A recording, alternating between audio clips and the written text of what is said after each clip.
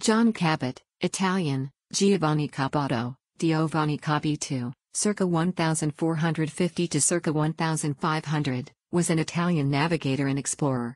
His 1497 discovery of the coast of North America under the commission of Henry VII of England is the earliest known European exploration of coastal North America since the Norse visits to Vinland in the 11th century. To mark the celebration of the 500th anniversary of Cabot's expedition, both the Canadian and British governments elected Cape Bonavista, Newfoundland, as representing Cabot's first landing site. However, alternative locations have also been proposed. Name and origins Cabot is known today as Giovanni Caboto in Italian, as Zuan Chabotto in Venetian, and as John Cabot in English. The non Italian forms are derived from how his name was recorded in related 15th century documents. In Venice, he signed his names as Zuan Chabotto, Zuan being a form of John typical to Venice. He continued to use this form in England, at least among Italians. He was referred to by his Italian banker in London as Giovanni Chabot, in the only known contemporary document to use this version of his first name. He was born in Italy, the son of Giulio Caboto and his wife, he had a brother Piero. Gaeta, in the province of Latina, and Castiglione Chiavarese, in the province of Genoa, have both been proposed as birthplaces. The main evidence for Gaeta are records of a Caboto family residing there until the mid 15th century, but ceasing to be traceable after 1443. Pedro de Ayala, the Spanish envoy and Cabot's contemporary in London, described him in a letter to the Spanish crown in 1498 as another Genoese like Columbus. John Cabot's son, Sebastian, said his father originally came from Genoa. In 1476 Cabot was made a citizen of the Republic of Venice, which required a minimum of 15 years residency in the city, thus he must have lived in Venice since at least 1461. Early life he may have been born slightly earlier than 1450, which is the approximate date most commonly given for his birth. In 1471 Caboto was accepted into the religious confraternity of St. John the Evangelist. Since this was one of the city's prestigious confraternities, his acceptance suggests that he was already a respected member of the community. Following his gaining full Venetian citizenship in 1476, Caboto would have been eligible to engage in maritime trade, including the trade to the eastern Mediterranean that was the source of much of Venice's wealth. He presumably entered this trade shortly thereafter. A 1483 document refers to his selling a slave in Crete whom he had acquired while in the territories of the Sultan of Egypt, which then comprised most of what is now Israel, Syria, and Lebanon. This is not sufficient to prove Cabot's later assertion that he had visited Mecca, which he said in 1497 to the Milanese ambassador in London. In this Mediterranean trade, he may have acquired better knowledge of the origins of the Oriental, West Asian, merchandise he would have been dealing in, such as spices and silks, than most Europeans at that time. Zuan Caboto, i.e. John Cabot, is mentioned in a variety of Venetian records of the 1480s. These indicate that by 1484 he was married to Matea and already had at least two sons. Cabot's sons are Ludovico, Sebastian, and Sancto. The Venetian sources contain references to Cabot's being involved in house building in the city. He may have relied on this experience when seeking work later in Spain as a civil engineer. Cabot appears to have got into financial trouble in the late 1480s and left Venice as an insolvent debtor by November 5, 1488. He moved to Valencia, Spain, where his creditors attempted to have him arrested by sending a letter di recomendazione a giustizia, a letter of recommendation to justice, to the authorities. While in Valencia, John Cabot Montecalugna, as he is referred to in local documents, proposed plans for improvements to the harbor. These proposals were rejected, however. Early in 1494 he moved on to Seville, where he proposed, was contracted to build and, for five months, worked on the construction of a stone bridge over the Guadalquivir River. This project was abandoned following a decision of the City Council on December 24, 1494. After this Cabot appears to have sought support in Seville and Lisbon for an Atlantic expedition, before moving to London to seek funding and political support. He probably reached England in mid 1495. Sponsorship Like other explorers at those times, including Christopher Columbus, Cabot led an expedition on commission, in his case, England. Cabot planned to depart to the west from a northerly latitude where the longitudes are much closer together, and where, as a result, the voyage would be much shorter. He still had an expectation of finding an alternative route to China. Historians had thought that, on arrival in England, Cabot went to Bristol, a major maritime centre, to seek financial backers. This was the only English city to have had a history of undertaking exploratory expeditions into the Atlantic. Cabot's royal patent, issued by the Crown in 1496, stated that all expeditions should be undertaken from Bristol, so his primary financial supporters were probably based in that city. In any case, it also stipulated that the commerce resulting from any discoveries must be conducted with England alone, with goods only being brought in through Bristol. This would have made Bristol into a monopoly port, with sole right to engage in colonial trade. In stating this, Henry VII of England was presumably copying Iberian practices, Portugal having made Lisbon into such a monopoly port, while Spain was in the process of doing the same thing with Seville. In the late 20th century, British historian Alwyn Ruddock found documentation that Cabot went first to London, where he received some financial backing from its Italian community. She suggested one patron was Father Giovanni Antonio de Carbonarius, an Augustinian friar who was also the deputy to Adriano Castellesi, the papal tax collector. Ruddock also suggested that Carbonarius accompanied Cabot's 1498 expedition. She further suggested that the friar, on good terms with the king, introduced the explorer to King Henry VII. Beyond this, Ruddock stated that Cabot received a loan from an Italian banking house in London. As Ruddock ordered the destruction of all her research notes on her death in 2005, scholars have had to duplicate her research and rediscover documents. The Cabot Project was formed at the University of Bristol in 2009 to research Cabot and the Bristol expeditions. Francesco Guidi Bruscoli, of the University of Florence, found some of Ruddock's documentation, confirming that Cabot received money in March 1496 from the Bardi family banking firm of Florence. The bankers located in London provided 50 nobles, 16 pounds 13s, 4d, to support Cabot's expedition to go and find the new land. This payment from the Florentine merchants would have represented a substantial contribution, although it was not enough to completely finance the expedition. On March 5, 1496, Henry VII gave Cabot and his three sons letters patent with the following charge for exploration free authority, faculty, and power to sail to all parts, regions, and coasts of the eastern, western, and northern sea, under our banners, flags, and ensigns, with five ships or vessels of whatsoever burden and quality they may be, and with so many and with such mariners and men as they may wish to take with them in the said ships, at their own proper costs and charges, to find, discover and investigate whatsoever islands, countries, regions or provinces of heathens and infidels, in whatsoever part of the world placed, which before this time were unknown to all Christians. Those who received such patents had the right to assign them to third parties for execution. His sons are believed to have still been minors at that time. Expeditions Cabot went to Bristol to arrange preparations for his voyage. Bristol was the second largest seaport in England. From 1480 onward, it had supplied several expeditions to look for Hy Brasil.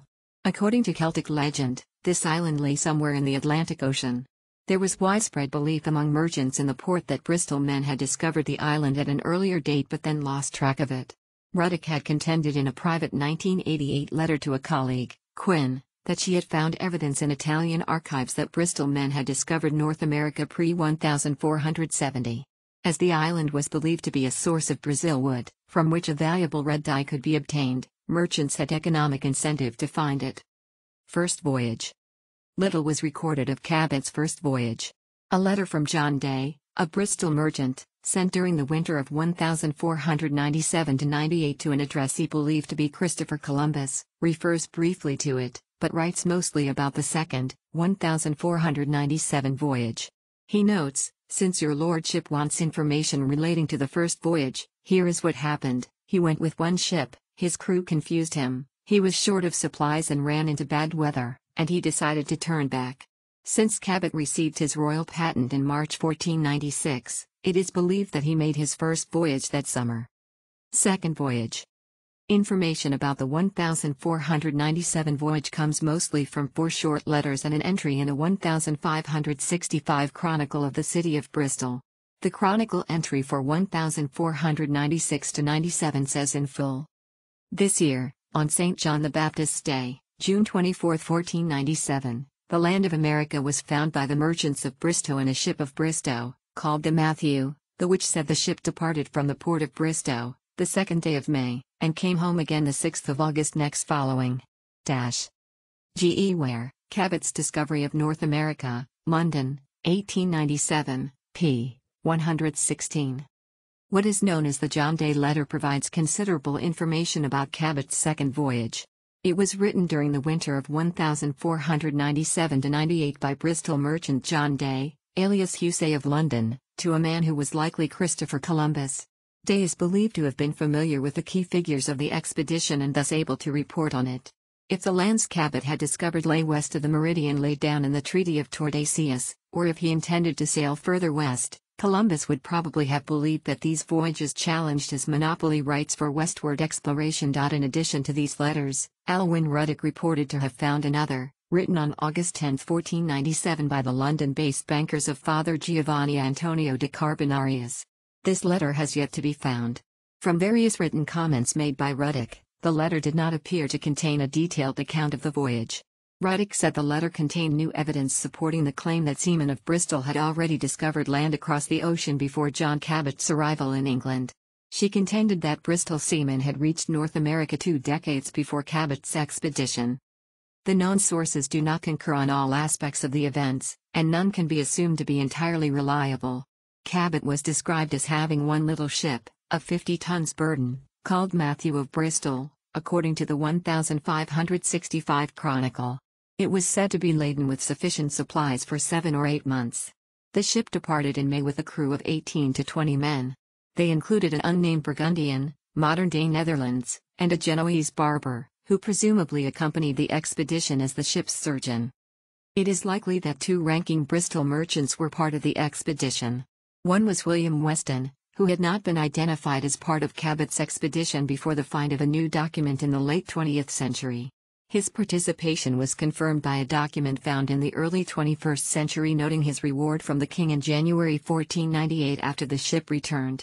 More importantly, in 2009 historian Evan Jones confirmed that Weston had undertaken an independent voyage to the Newfoundland in 1499, probably under Cabot's patent, as the first Englishman to lead an expedition to North America. In 2018 Condon and Jones published a further article that confirmed Weston's involvement with Cabot prior to the 1498 expedition. Leaving Bristol, the expedition sailed past Ireland and across the Atlantic, making landfall somewhere on the coast of North America on June 24, 1497. The exact location of the landfall has long been disputed, with different communities vying for the honor. Historians have proposed Cape Bonavista and St. John's, Newfoundland, Cape Breton Island, Nova Scotia, as well as Labrador and Maine as possibilities. Since the discovery of the John Day letter in the 1950s, it seems most likely that the initial landfall was either on Newfoundland or Cape Breton Island. This is because Day's letter implies that the coastline explored in 1497 lay between the latitudes of Bordeaux, France and Dursey Head in southern Ireland. The initial landfall seems to have taken place close to the southern latitude, with the expedition returning home after reaching the northern one. For the 500th anniversary celebrations, the governments of Canada and the United Kingdom designated Cape Bonavista in Newfoundland as the official landing place. Here in 1997, Queen Elizabeth II, along with members of the Italian and Canadian governments, greeted the replica Matthew of Bristol, following her celebratory crossing of the Atlantic. Cabot is reported to have landed only once during the expedition and did not advance beyond the shooting distance of a crossbow. Pasqualigo and Day both state that the expedition made no contact with any native people. The crew found the remains of a fire, a human trail, nets, and a wooden tool. The crew appeared to have remained on land just long enough to take on fresh water. They also raised the Venetian and papal banners, claiming the land for the King of England and recognizing the religious authority of the Roman Catholic Church. After this landing, Cabot spent some weeks discovering the coast, with most discovered after turning back. Final voyage. On return to Bristol, Cabot rode to London to report to the king. On August 10, 1497, he was given a reward of £10, equivalent to about two years' pay for an ordinary labourer or craftsman. The explorer was fated, Soncino wrote on 23 August that Cabot is called the Great Admiral, note, as Christopher Columbus had been, and vast honor is paid to him and he goes dressed in silk, and these English run after him like mad. Such adulation was short-lived, For over the next few months the king's attention was occupied by the Second Cornish Uprising of 1497, led by Perkin Warbeck.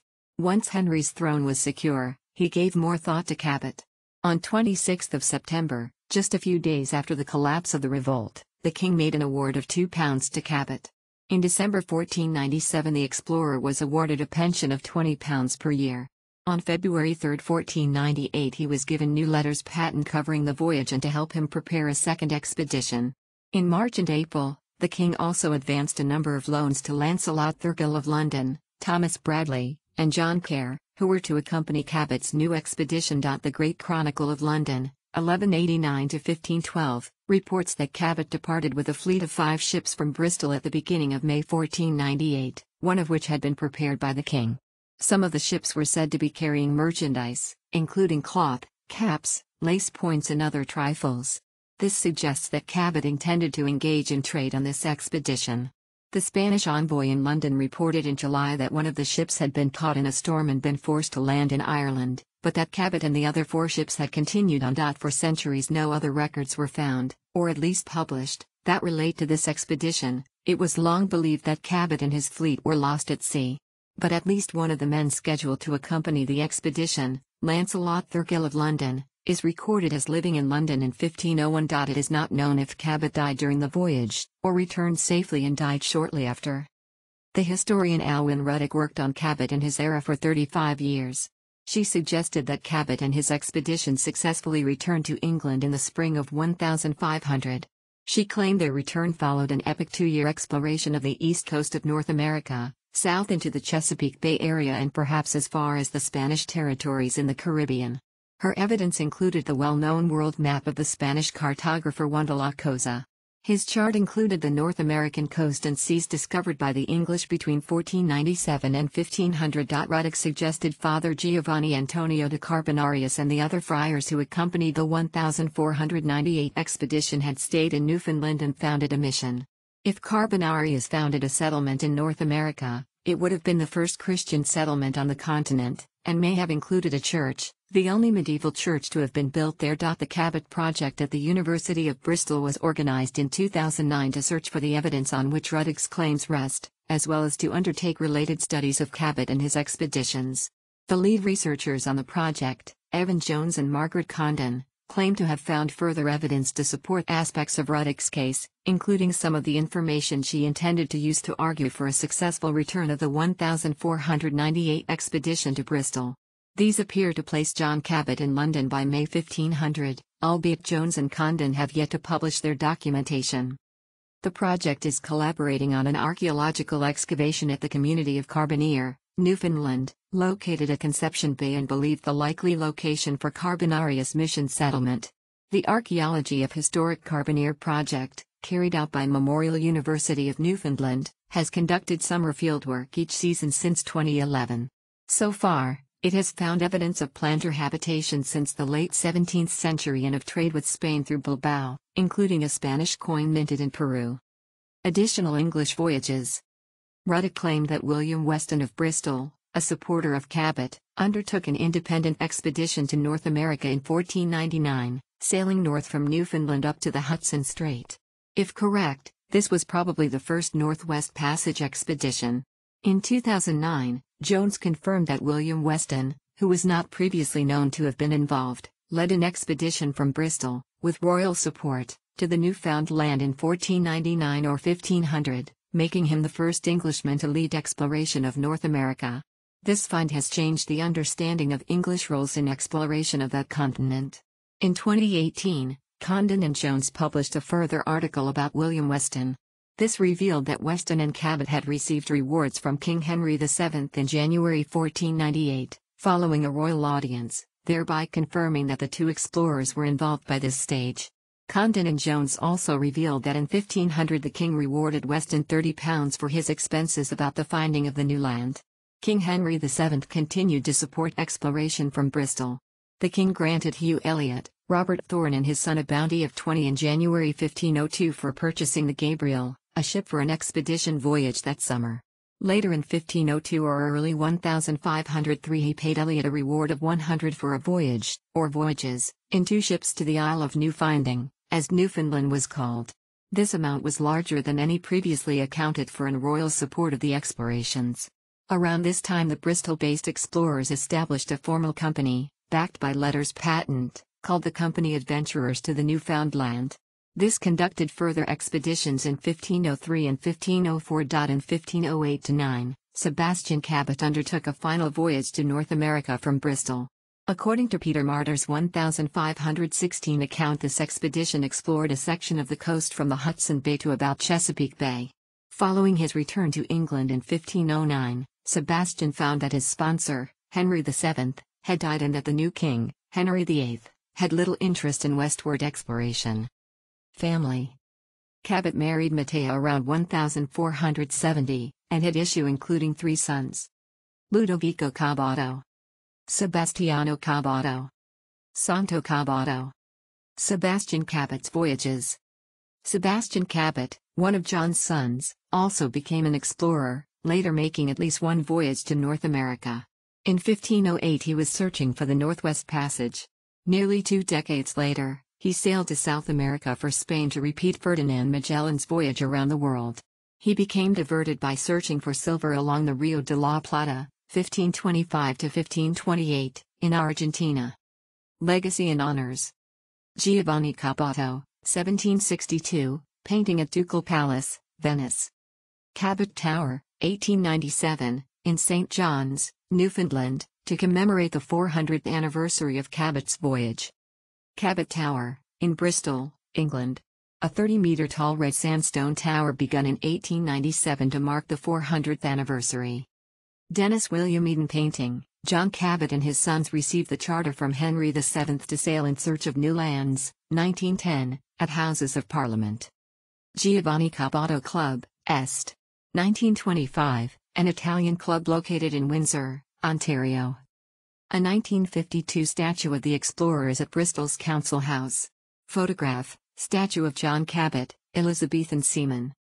John Cabot University is a United States affiliated university established in 1972 in Rome, Italy. A 1985 bronze statue of the explorer by Stephen Joyce is located at Bristol Harborside. A replica of the Matthew of Bristol built to commemorate the 500th anniversary of the 1497 voyage, docked in Bristol. A second replica of the Matthew is located at Cape Bonavista. The scenic Cabot Trail in the Cape Breton Highlands is named after the explorer. John Cabot Academy is an independent school in Bristol, England. Cabot Ward is an electoral district in Bristol, indirectly named for the explorer and directly after the local Cabot Tower. Cabot Squares in London and Montreal. Cabot Circus, a 2008 shopping mall in Bristol, named as a result of a citywide poll. Cabot Street in St. John's, Newfoundland and Labrador. A bronze statue of the explorer stands at the Confederation Building, St. John's. A bronze statue of the explorer is located at Cape Bonavista, Newfoundland. Plaques in English, French and Italian commemorate the historic voyage. John Cabot Catholic Secondary School in Mississauga, Ontario, Canada is named after the explorer. Giovanni Caboto Park located in Edmonton, Alberta, Canada. See also List of people who disappeared. Sources Evan T. Jones and Margaret M. Condon, Cabot and Bristol's Age of Discovery, The Bristol Discovery Voyages 1480 to 1508, University of Bristol, November 2016. This short book provides an up to date account of the voyages, based on the research of the Cabot Project, aimed at a general audience. Evan T. Jones, Alwyn Ruddock, John Cabot and the Discovery of America, Historical Research Volume 81, Issue 212, 2008, pages 224 to 254. Provides updated information on new discoveries of documents related to Cabot and his voyage, and claims made in the late 20th century by Alwyn Ruddock.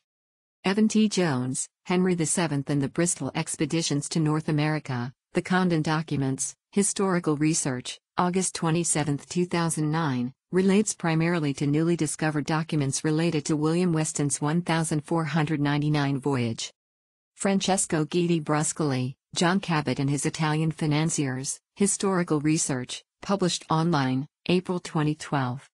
J. A. Williamson, the Cabot Voyages and Bristol Discovery under Henry VII, Hakluyt Society, 2nd Series, Number 120, Cup, 1962. Considered the essential sourcebook for Cabot and his voyages. Numerous documents have been discovered in the Italian, Spanish, and English archives that provide new insights into these events and era. Skelton, R. A 1979 to 2016. Cabot, John. Dictionary of Canadian Biography, online ed. University of Toronto Press. A short introduction, it has been updated based on material published related to the Cabot project at the University of Bristol. H. P. Biggar, ed., The Precursors of Jacques Cartier, 1497 to 1534, a collection of documents relating to the early history of the Dominion of Canada, Ottawa, 1911. Contains transcriptions of many of the original documents in their original languages, i.e., Latin, Spanish, and Italian. P. D'Epiro, M.D. Pinkowish, Sprezzatura, 50 Ways Italian Genius Shaped the World, First Anchor Book Edition, 2001, pages 179 to 180. Further reading. Evan T. Jones and Margaret M. Condon, Cabot and Bristol's Age of Discovery, The Bristol Discovery Voyages 1480 to 1508, University of Bristol, November 2016. Douglas Hunter, The Race to the New World, Christopher Columbus, John Cabot, and A Lost History of Discovery, New York, Macmillan, 2011. He uses findings from the Cabot Project of the University of Bristol as part of his research. This is described by archaeologist Peter Pope as the first substantial book on Cabot since the batch that observed the quincentennial of 1997 and the most detailed comparison to date of the careers of Columbus and Cabot. Mora, Juan Francisco. El Mito de John Cabot, Construcción Británica para reclamar la soberanía de Norteamérica. Cuadernos Hispano-Americanos. 788, 2016, 4 to 25. Available online http colon slash slash www.isa.s slash centro documentacion slash documentos slash publicaciones percent 20 isad slash web underscore cha underscore 788 underscore 2016.pdf. References.